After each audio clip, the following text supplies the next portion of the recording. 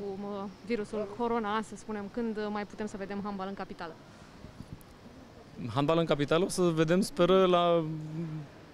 Dacă nu mă înșel, este meciul cu Ferenc Varoș de pe teren propriu, așa că, din punctul nu, nu înțeleg de ce nu s-ar juca, adică nu înțeleg de ce vine întrebarea. Da, e programat, suntem într-o situație bună, da, adică nu înțeleg.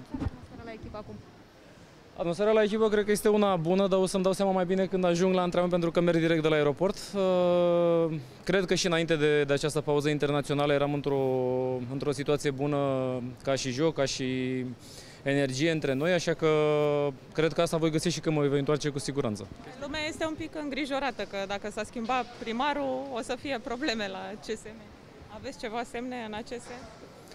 Eu sper să nu fie niciun fel de semn negativ. Cred că în uh, România sunt uh, puține lucruri la care performăm la nivel de excelență, la nivel internațional, așa că a prețui acele lucruri din toate domeniile din care facem parte e un lucru, a spune, o prioritate pentru toți cei care trăim în țara asta și sper că asta să fie și dorința tuturor. Cristina Neagu, cum îl veți națională, care e starea ei? Cristina a făcut o, în, în weekend a făcut o injecție în număr și în genunchi, e doar o injecție de cu plasma, să spunem, doar de protecție și atunci a trebuit să facă această, această pauză. Dacă n-ar fi făcut-o acum, n-ar mai fi avut-o până la sfârșitul anului și atunci ar fi acum la foarte multă uzură.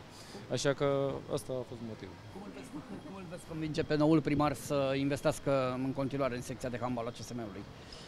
Uh, eu cred că personal pot să-l conving și echipa prin uh, cum arătăm și ce am făcut până acum și rezultatele pe care le-am avut. Și așa cum am spus mai devreme, cred că rezultatele astea sunt la nivel de excelență uh, și dacă asta nu convinge, înseamnă că nimic nu convinge. Doamna Gabi Sabu, ați mai vorbit? Că și postul dânsei era acum în discuție. Eu am, cu schimbările acestea politice? Eu am vorbit foarte mult cu lume din Norvegia, din Franța, cu echipa acum în toată săptămâna asta în care am fost, am păstrat legătura cu clubul, dar anumite lucruri uh, nu le discut pentru că îmi place să păstrez o linie ierarhică și atunci uh, asta fac. Puteți menține acest ritm în Liga Campionilor, ați debutat foarte bine și aveți uh, o continuitate foarte bună. Faptul că am debutat, am debutat uh, bine cu aceste două meciuri e foarte important, dar am mai spus-o, nimic nu este câștigat și nimic nu este pierdut până la final în acest format al Ligii Campionilor. Uh, sperăm să continuăm acest parcurs pe care l-am uh, făcut deja. Urmează un meci în Norvegia care este foarte greu. Vipers are o echipă cu majoritatea componente ale echipei Norvegiei. Așa că o să, e, fiecare meci este foarte greu, foarte intens și diferit. Foarte multe focare de coronavirus în handbalul masculin, în campionatul intern. Vă temeți că același lucru s-ar putea întâmpla și la echipele din Liga Florilor? Eu aleg să influențez ceea ce pot eu, așa că eu pot să și echipa putem să avem grijă de noi, putem să respectăm cât de mult normele, să ne protejăm 100%, cred că nimeni nu este capabil de asta, inclusiv dumneavoastră stați foarte aproape unii de alții acum.